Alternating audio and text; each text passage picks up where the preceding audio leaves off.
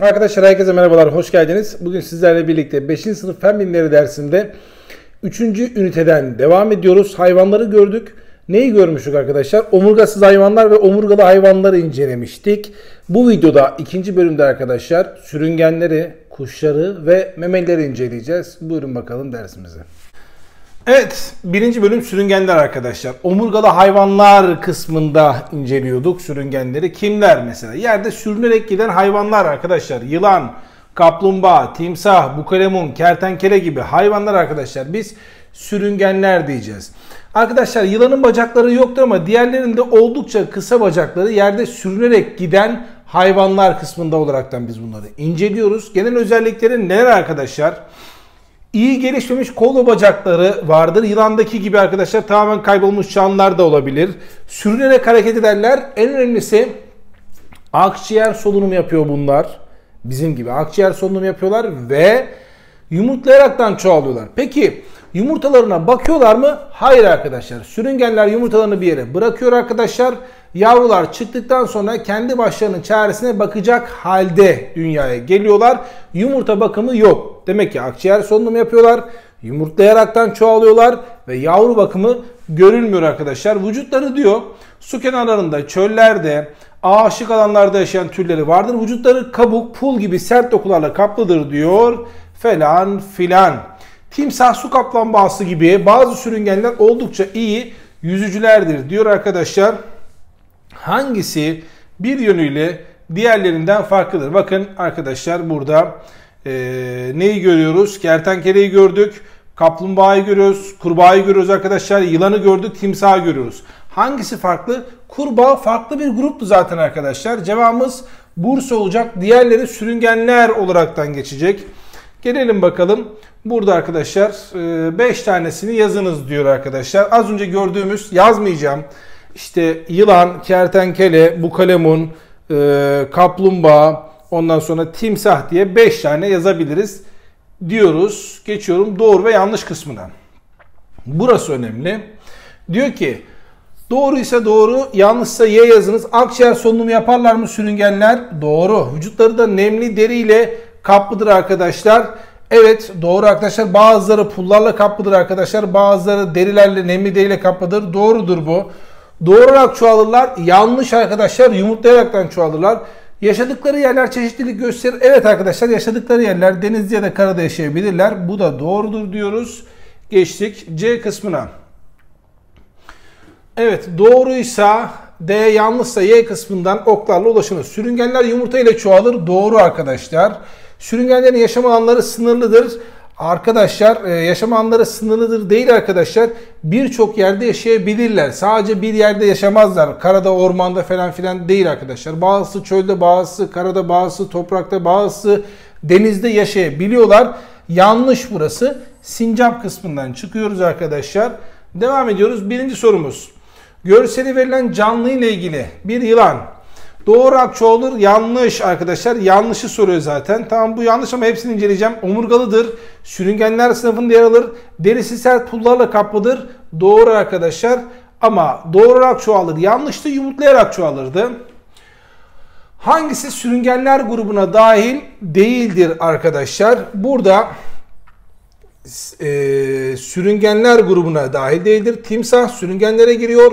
Yılan sürüngenlerde. Salyangoz neye giriyordu? Omurgasız canlılara giriyordu. Aman dikkat arkadaşlar. Ya bu da yerde sürünüyor. Sürüngen değil mi demeyin. Kaplumbağa arkadaşlar sürüngenler e, grubuna giriyordu ama salyangoz dediğimiz neydi? Omurgasızlar grubundaydı. Üçüncü ve son sorumuz buradaki.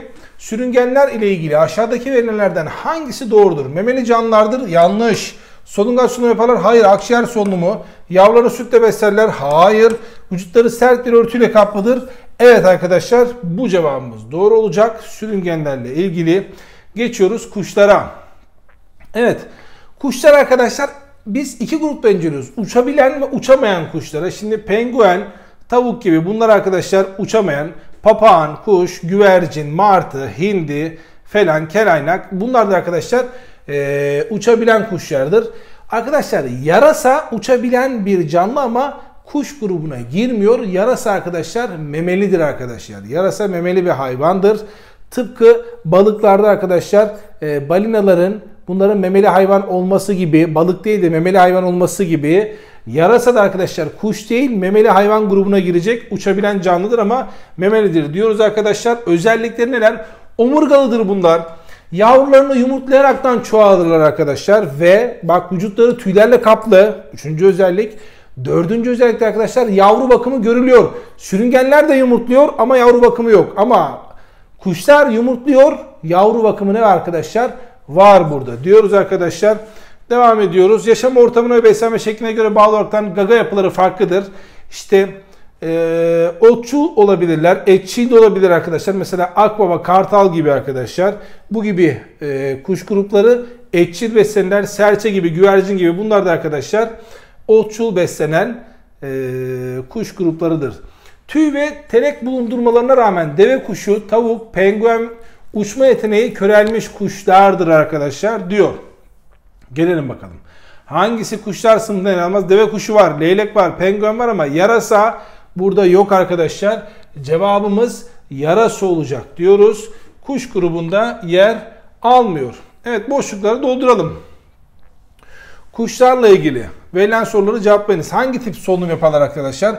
Akciğer, ak ciğer solunumu yaparlar. Vücutları neyle örtüldür arkadaşlar? Tüylerle örtüldür. Tüy diyeceğiz. Nasıl çoğalırlar? Yumurtlayarak arkadaşlar. 3 yumurta yumurta ile çoğalırlar. Uçmalarını sağlayan yapı nedir arkadaşlar? Kanatlarıdır. Kanatlarıdır bunların. Uçamayan kuşlara örnektir. Mesela penguen mi? Evet penguen direkt buraya uyuyor. Arkadaşlar deve kuşu olabilirdi. Penguen olurdu değil mi arkadaşlar? Bunları deneyecektiniz. İlla bir tanesi olacak değil yani. Doğrunun altını çiziniz diyor. Yuvarlak için alınız. Kuşlarda yavru bakımı vardır arkadaşlar. Yavrularına bakarlar. Kuşların vücutları kıllarla, tüylerle hayır tüylerle kaplıdır arkadaşlar. Kuşların yaşam alanları oldukça geniştir arkadaşlar. Deve kuşu ve tavuk uçamayan kuşlara örnektir. Bazılarınız diyecek ki ya ben tavuğu gördüm zorluyorlar uçuyorlar. Ya, tavuk yerde yürüyor genelde uçmuyor. Zorlarsan tavuğu biraz uçuyor yani. Bir 40-50 metre gider tamam can havliyle bazen. internette videolarını görebilirsiniz. Uçan tavuk yazın.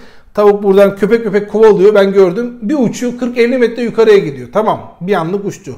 Uçabiliyor o zaman değil. Normalde yerde yürüyor bu.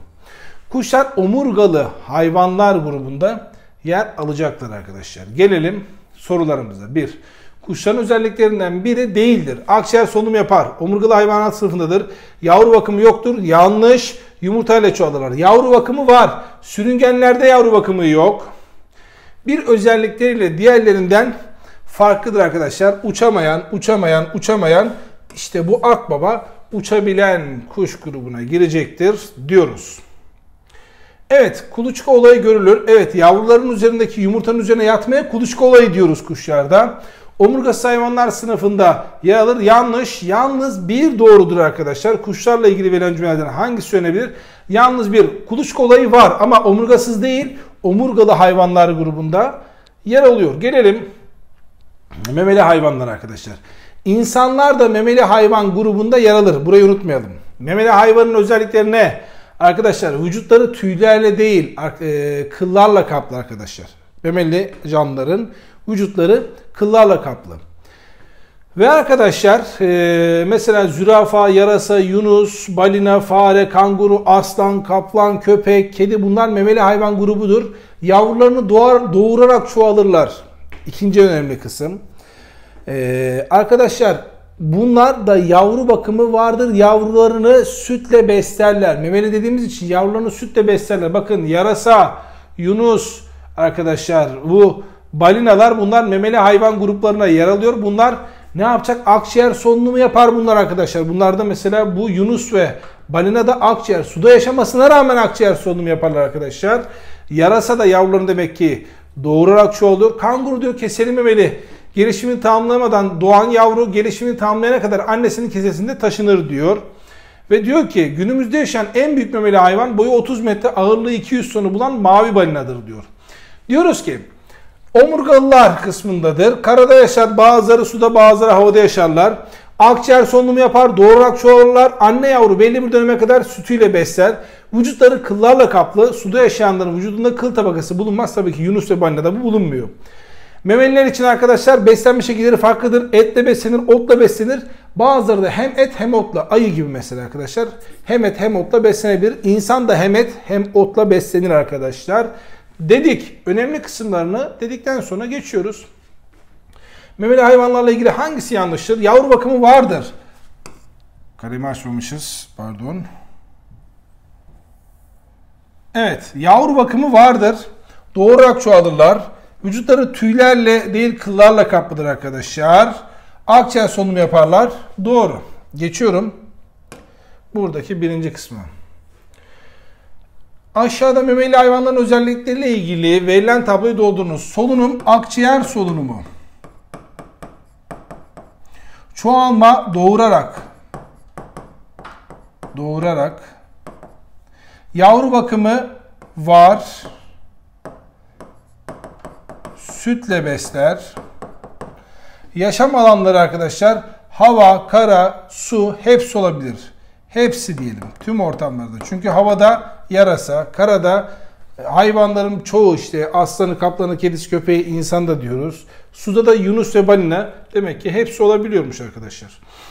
Evet doğru yanlış çıkışına göre ilerleyelim. Omurgalı hayvanlar sınıfında yer alır. Bu neymiş arkadaşlar?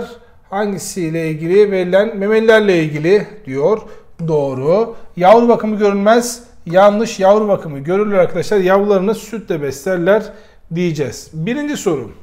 Fotoğraf verilen canlı için, yarasa için hangisini söylenemez? Yavrularını doğurur. Bir kuş türüdür. Hayır. Vücudu kıllarla kaplıdır. Doğru. Yavru bakımı görülür. Evet arkadaşlar.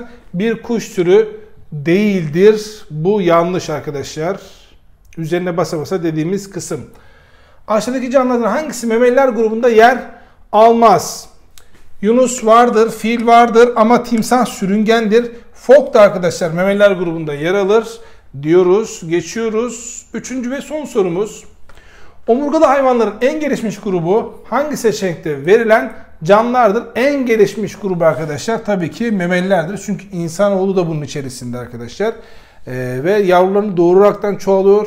Yavrularını sütle besliyorlar arkadaşlar. Hatta vücutları kıllarla kaplı ve vücut sıcaklıkları arkadaşlar sabit. Yani vücut sıcaklıklarını ayarlayabilen canlılardır memeliler. Bu anlamda diğerlerine göre daha gelişmiş canlılardır diyoruz. Arkadaşlar 3. bölümü burada bitiriyorum. Açıklama kısmına 5. sınıf matematik ve fen bilimleriyle ilgili oynatma listelerini bırakıyorum. Videomuzu beğendiyseniz like atmayı ve kanalımıza abone olmayı unutmayın. Bir dahaki dersimizde görüşmek üzere. Allah'a ısmarladık.